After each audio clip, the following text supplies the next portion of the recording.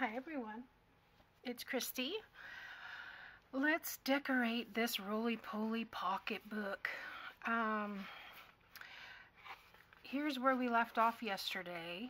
We um, just took the chipboard pieces and wrapped them in uh, kraft cardstock. I, I want to say this is probably 65 pound weight. It's, it's pretty thin. Um, and so I think the first thing I want to do is cover the spines here. Um, I do have, this is the, um, it says Vintage Botanical, but this is an Artymaze kit. It's called Patchwork Botanicals, and I used it um, way back when I first, like I think my second journal, um, I used this, and I just love it. It's um, lots of floral, grungy, um, geometrics, um, just a, a, bunch. And I got the whole kit in caboodle. There were, uh, I think there was a main kit and an add-on kit. And so I have printed out, I don't know what I did with those. Is that all? Oh, there it is on the bottom. Um, gee whiz, I'm a little disorganized. I thought I had it all together. Um, I did print out some ephemera on uh, 5 by 7 just to, to fit it uh, in here because this is smaller, but you can see all the lovely goodies that come in this kit. And um, these are 5 by 7 so uh, these were humongous uh, tickets. And um, yeah, this is a fun, fun, fun, fun little kit. Um, all right, so I want to cut let's see, I want about a quarter of an inch shy of the five. So I'm just gonna, I guess I'll just do five inches. Where's my, find my, helps if you can find the cutter. Let me get this out of the way for a second. So I am going to cut this because I want to get several strips out of this. Um, I'm just going to do five inches. I can use this for something else. And as far as width, I probably want the one and a quarter plus another quarter plus another quarter. So one and three quarters. Let's see if that would do it one and three quarters which should work um, on that one anyway. So one and three quarters. So I'm doing a half an inch. The other one was 0.75, so I want one and a quarter. And the other one was 3 eighths. I don't even know where that would be on here. Here, I suppose. So I will do 5 eighths, right? 7 eighths. Yeah. All right. Let's see. Um, and the reason I want to do that is because I want to cover these up before I mat these pages. And um, it occurred to me that I probably should have used, because see I still have a lot of wrinkling on here, but I probably should have used the, um, the Uhu glue stick to put those um, pieces on and then I would not have had all that um, curling. So, oh well. What do they say? Hindsight's 2020. So let me get some glue flowing here. And we'll get these pieces on and start matting away. So it's Friday. I hope you guys all have fun plans for the weekend. I don't think we have anything planned. Um, my husband works on Saturdays, so our weekends are Sunday, Mondays. So I'm just going to stick that on there for a second and then I think I may score that after it dries. So this is leaving about an eighth of an inch top and bottom, which is perfect. Now, I thought about using fabric, but the reason I didn't use the fabric is I am not going to be sewing anything in here. This is going to be a kind of, well, I guess like a pieces parts journal, you know, just for keeping track of things. And I think I'll put like a pad on one page and we'll do pockets and tucks and things on the other pages. Um, okay, let's see. I don't really want to go too hard in here because I don't want it to come up. And I'm thinking if I just let it dry, then I can score it. So let's let's see how that goes. All right, let's do the next one. Yeah, I think this is really fun. I think this will, if it turns out in my head, I think I said this before, if it turns out anything like what it is in my head, then it'll be really cute. So, okay, let's do about an eighth of an inch on either side of those folds.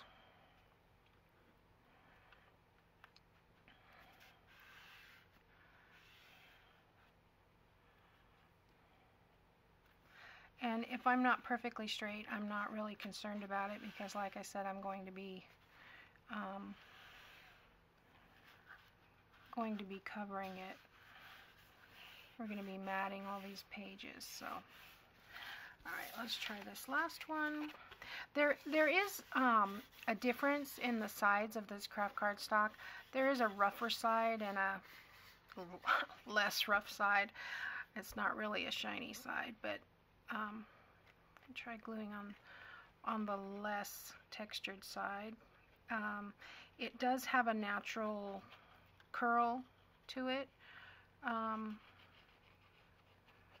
so maybe that'll help with the, I don't know, help with the curling. I don't know, we'll see. And these are smaller pieces too, so they are most of the time a little bit easier. Alright, let's get this one on here. Yeah, I did pretty good.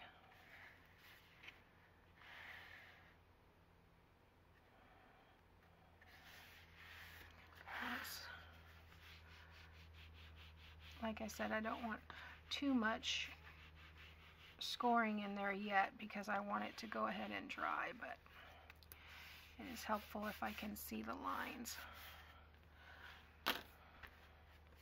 Didn't do too bad on the seepage either. I don't see any glue coming out, so that's good. Just have to coax it into staying. See, I don't know if you can see that, but as soon as I go into that little crease, this lifts up. So yeah. Alright. I'm going to leave that the way it is for now. Okay, so this is the front cover here.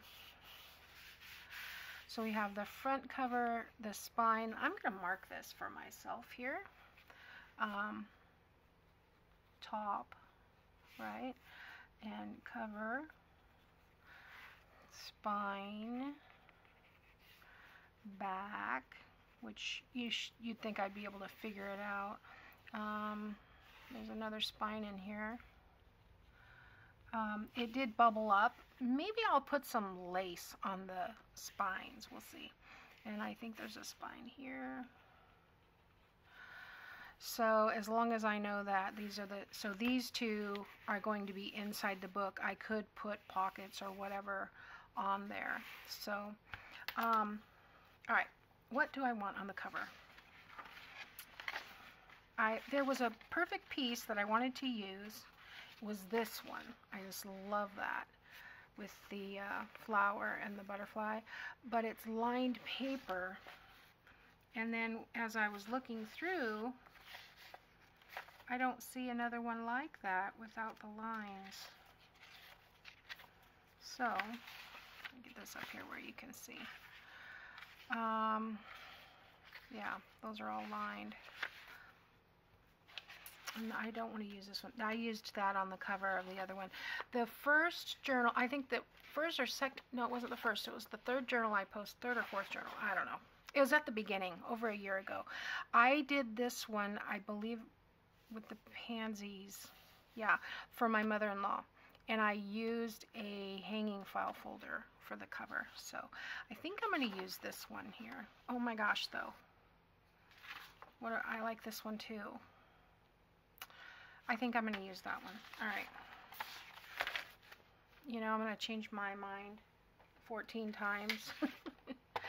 All right, so the size of those pages, if I remember correctly, was five and a quarter by three and a quarter. So I'm just going to do three by five. So I'm going to cut off this little white edge over here.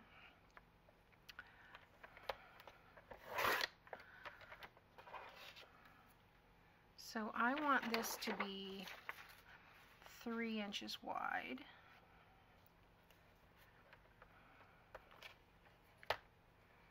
Make sure that's straight. And let's see. I've got three here, almost two there. I want to make sure I get that butterfly in there. So I think, and then maybe a word. So let's let's trim right above the butterfly. And then go five. to open my arm.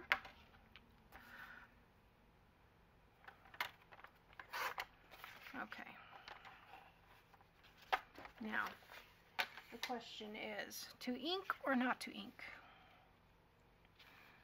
I really like that.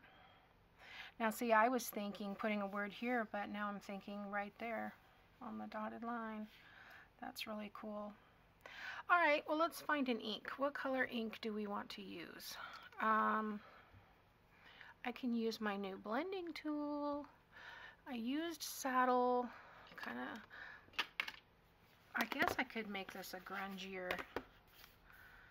grungier one. It's not really a, not chocolate though. What else I got? Oh, the cocoa's darker than the chocolate.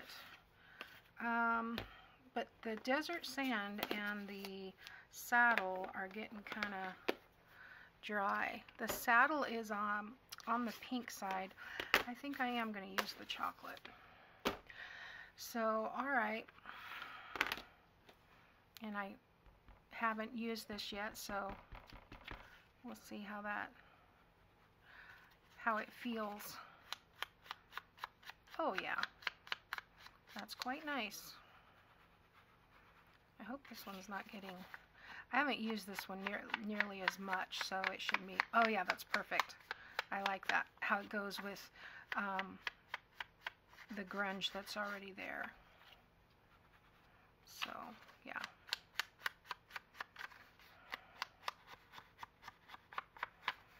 This feels like I have much more control with the bigger handle than just holding it with my fingers and feeling like it's gonna fly away.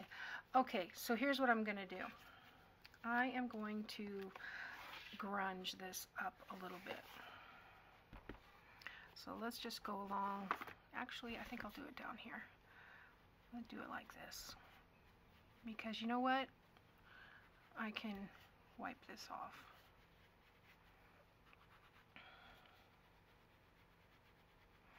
Just a little bit.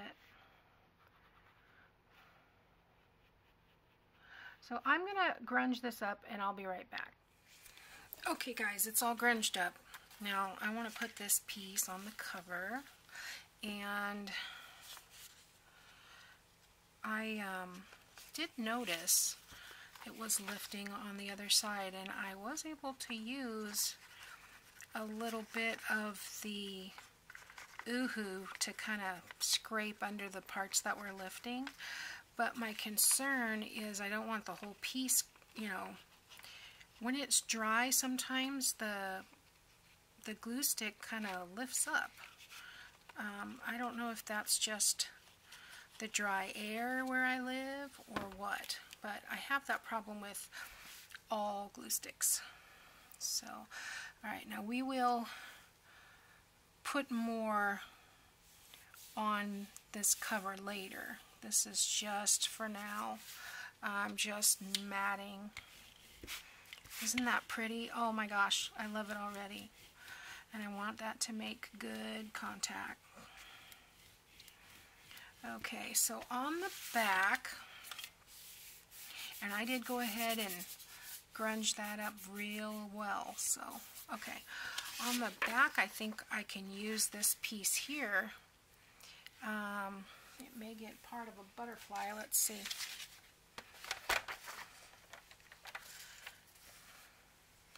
Was it three?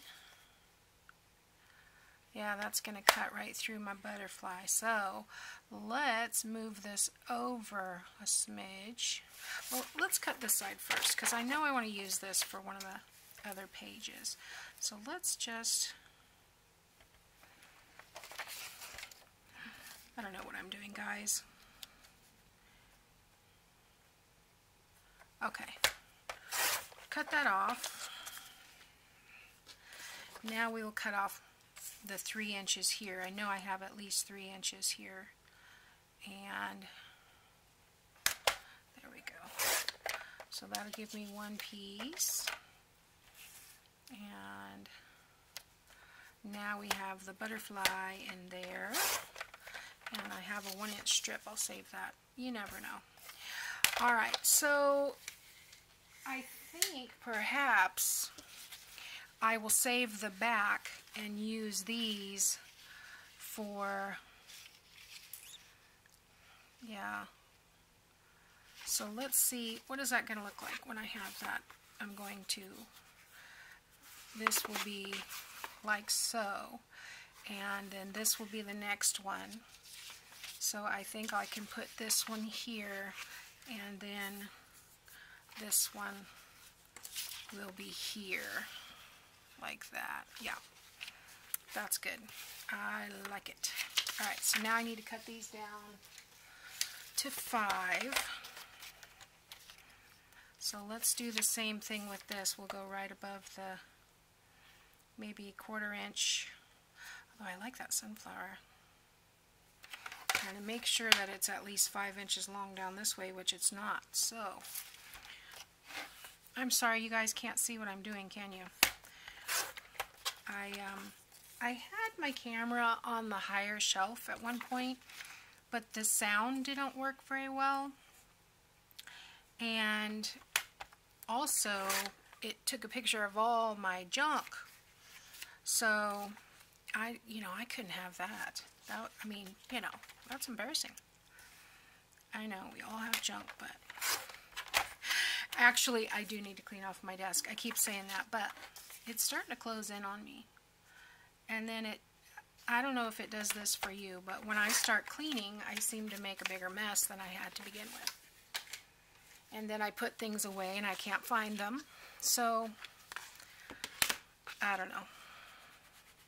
I have a, a love-hate relationship with cleaning my, my workspace. It stayed cleaner, I'll tell you, when I was working in the other room. But then I thought, well, I would like a place where I could leave all my stuff out. You know, that way I could be working on something and come back to it and not have to clean off the kitchen table so I can make dinner, you know.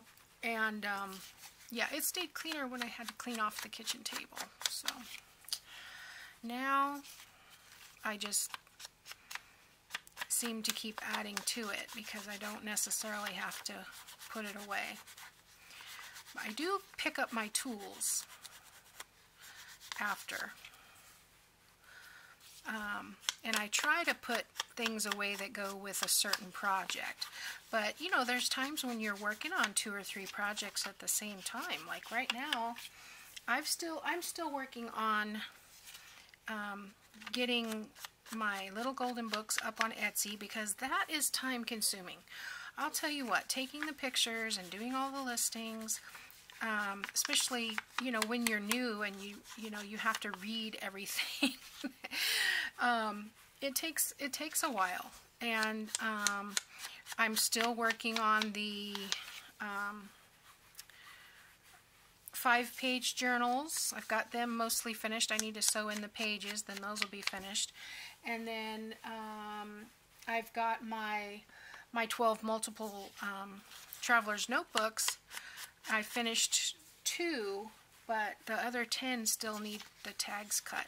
So everything's mostly finished, but I need a catch-up day. And on Sunday, I did nothing because I came home, my son and I were on Coffee Crew, which I love doing Coffee Crew, but it it's on your feet from 8.30 to, to 1.30, basically. And um, I love it because I get to see everybody, but um, when I get home, I'm just, I'm beat. So I sit in my, sat in my chair, and I kept thinking, oh, I need to go do this or go do that, and I never got around to it. So, all right. I think that is the way I would like to do it. So, let's get some glue on here.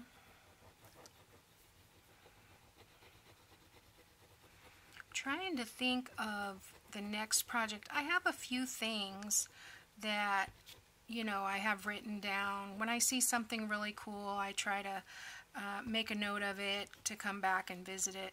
Um, sometimes I don't know what I wrote in my notes, and so it'll have have something there. And if I didn't write down where I saw it, I have no clue. And so if I Google it, I may get something completely different, and I'll look it up and I'll be like, I don't remember that at all. What is that? But um, yeah, I try to keep a, a list of projects I would like to do and oh, that's off a little bit. Let's get that centered.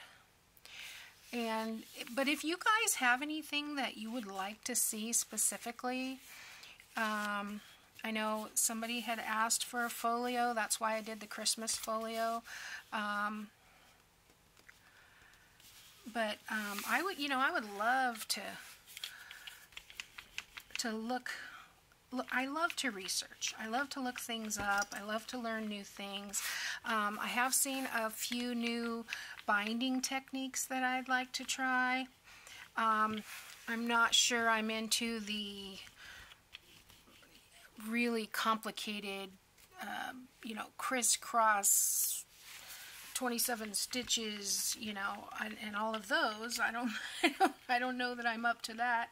Although, you know what? If you challenge me, I'll probably try it.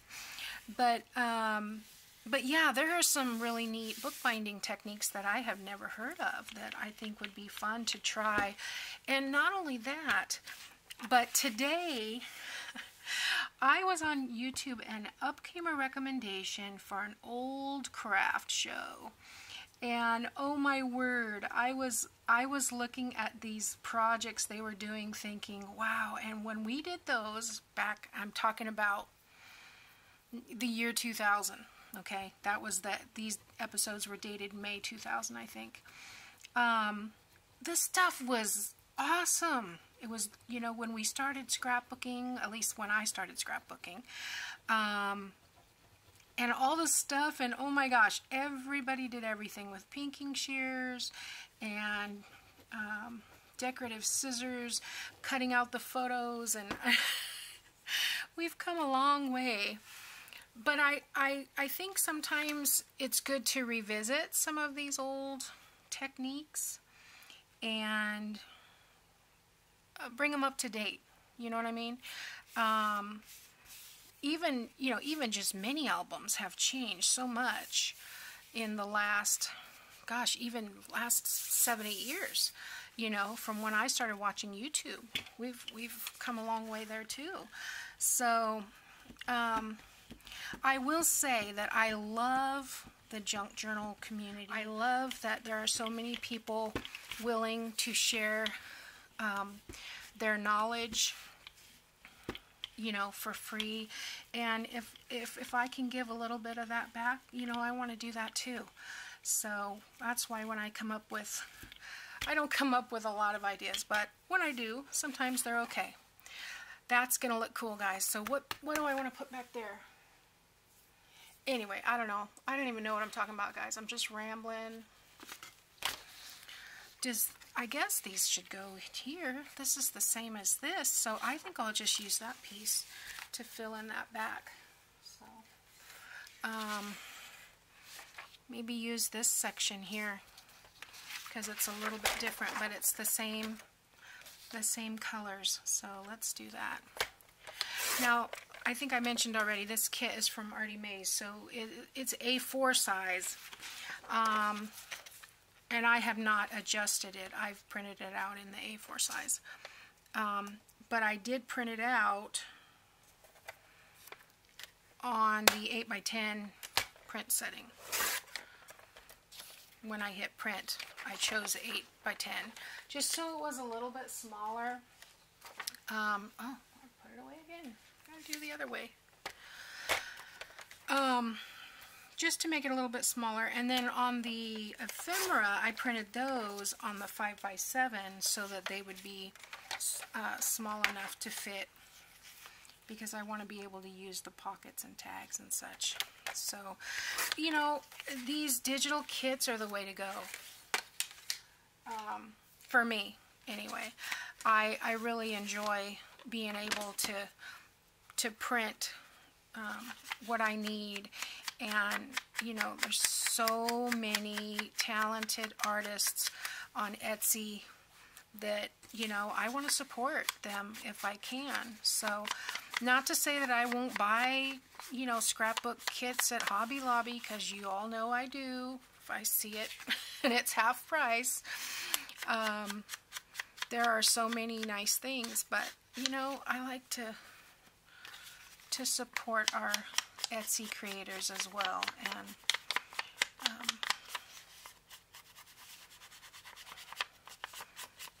yeah, there's a bunch of good stuff there. Boy, I'm just a chatty Cathy today. I'm sorry, guys.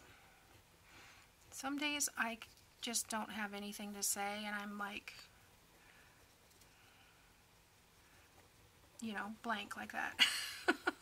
like I I got that's when I have too many things on my mind.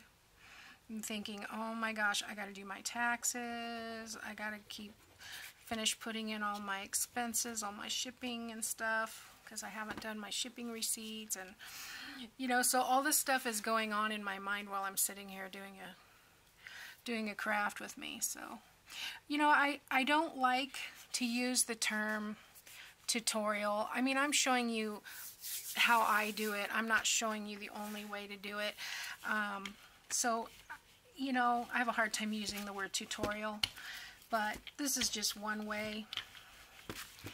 But I hope you guys are enjoying this because this is fun. Isn't that cool? I just love it. I don't I don't think I want to fold this up yet. I'm still having some issues over here. But when I mat these, um, I, I think that will help hold this down as well. So I'm going to choose some papers and mat this side, and then I'll be back to show you what I did. Okay guys, I finished matting it. It needs to dry a little bit, but um, this is how it's going to look. Um, I think I'm probably going to run a piece of lace along here to bring that out. If I, like I said, if I was going to do this again, I would make this piece right here just a tad shorter and this one a tad longer.